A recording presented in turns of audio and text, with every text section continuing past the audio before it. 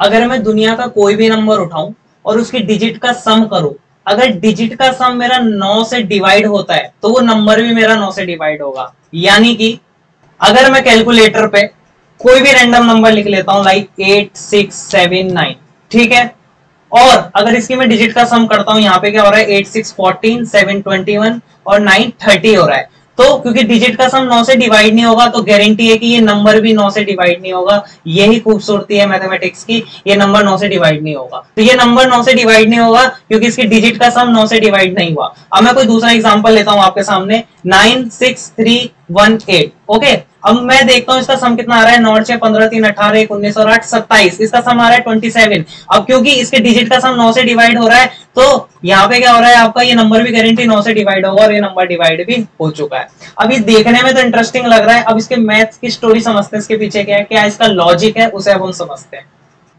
अब इसके प्रूफ के लिए मैं एक थ्री डिजिट का नंबर ले लेता हूँ, जिसके यूनिट प्लेस पे सी है, जिसके टेंथ प्लेस पे बी है और जिसके हंड्रेड प्लेस पे ए है। अब अगर मैं इसे एक्सपेंड करूँ एक्सपेंडेड फॉर्म अगर मैं इसकी लिखूं तो वो कैसी होगी? Hundred A plus ten B plus C होने वाली है। अब मैं अगर हंड्रेड ए को फर्दर ब्रेक डाउन करने की कोशिश करूँ तो मैं इसे क्या लिख सकता हूँ? Ninety nine A plus A plus अगर मैं टेन बी को फिर से फर्दर ब्रेक डाउन करने की कोशिश करूँ तो nine B plus B plus C लिख सकता हूँ।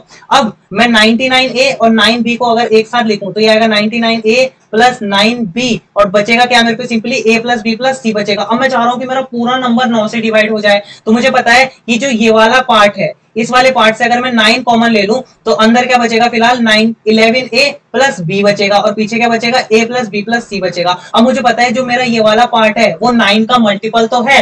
अगर ये वाला पार्ट भी मेरा नाइन का मल्टीपल आ जाए तो मेरा जो पूरा नंबर है, वो नौ से डिवाइड हो जाएगा। तो इसलिए बोला जाता है कि अगर सिंपली सम अगर कभी भी नौ से डिवाइड हो जाए, किसी भी नंबर का, अगर उसकी जितने भी डिजिट है, उन सारे डिजिट का सम अगर नौ से डिवाइड हो जाए तो वो नंबर भी नौ से डिवाइड हो जाएगा। ये मैंने एक जनरल केस लेके चला कि जहाँ पे मैंने माना तीन डिजिट का आप इसे चार डिजिट पाँच डिजिट कितनी भी डिजिट का नंबर ले सकते हैं।